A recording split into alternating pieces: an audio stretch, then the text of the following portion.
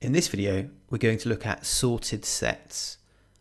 Sorted sets are very similar to sets that we saw in the previous video. The core difference is that sorted sets have a score associated with each member. And this is used to rank the members based on the score.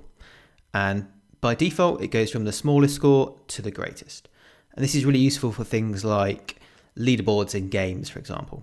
To add an item to a set, rather than using sadd like we previously did, we use zadd. You then have the key of the set you want to create. We're going to create a leaderboard. And you then have the score. So we're going to go with one and then the value you want in your set. So let's go with Dave. So Dave is number one in our leaderboard. And you'll see there that we've added Dave to our leaderboard at number one. Let's go ahead and add some more people to our leaderboard. So Z add key leaderboard. And you can add multiple items at once. So let's go ahead and put number two. So Tim. Let's do number three, Sarah. Number four, Pete. Number five, Kate.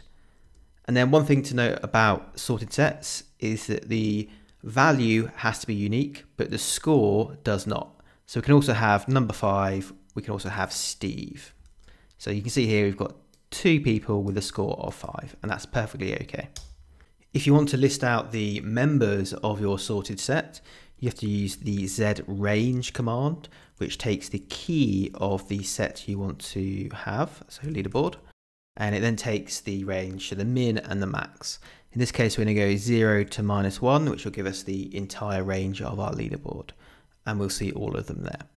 And if you want to have the members of your set with the scores, you can do that using the with scores option as well. And that will give you each member with their corresponding score. If you want to get the number of members within a sorted set, you can do that using the Z card command for cardinality and then passing in the key of your set. So there we go, Z card leaderboard gives us six. You can also do this with a range as well using the Z count function with the key as well. And then you pass in the min and the max. So if you want to see the entirety of your set, you'll do minus infinity and plus infinity. And that'll give you six again.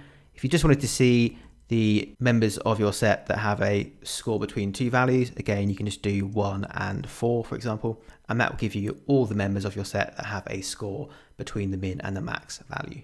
I'm going to go ahead and add someone else to our leaderboard just so I can show you how to remove them. So we'll add Luke with a score of one. So if we have a look at that entire set, we will see that Luke is here underneath Dave.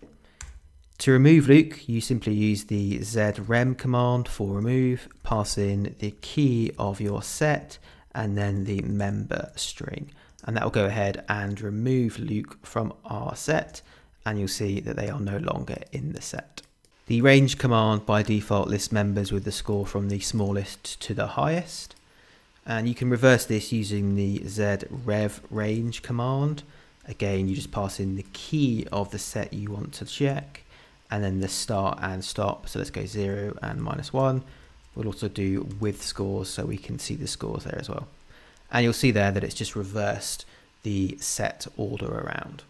You can also see the score for a specific member of the set with the Z score command, which takes the key of your set and then the member you want to check. So let's check what Pete's score is, and you'll see we get back four there, and Pete has a score of four there, as you can see. If you want to get the scores associated with multiple members, you can use the ZM score command, again passing in the key of your set and then the members you want. So let's do Pete and Tim, and you'll see we get back four and two. You can also get the members of your set based on their score with the Z range by score command.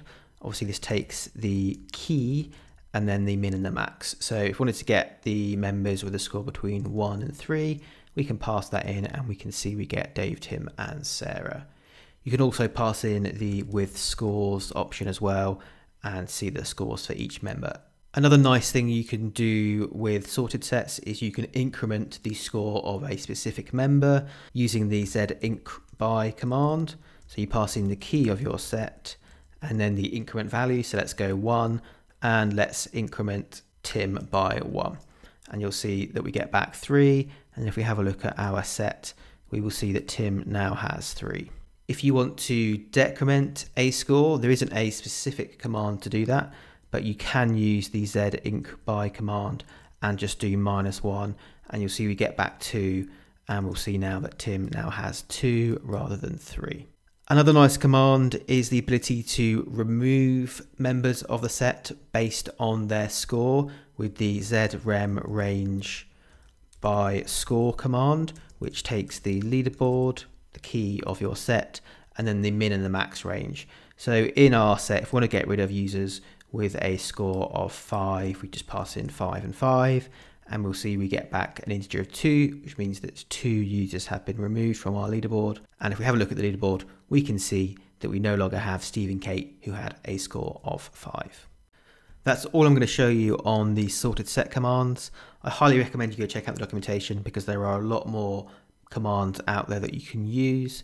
Uh, one thing to note is that because sorted sets and sets are so similar, there are lots of functions that you can do on both, such as the zdiff, zdiff store, z intersection, and z intersection store. They're obviously both shared between. Thanks for watching. Don't forget to like, share, and subscribe. It really helps out the channel.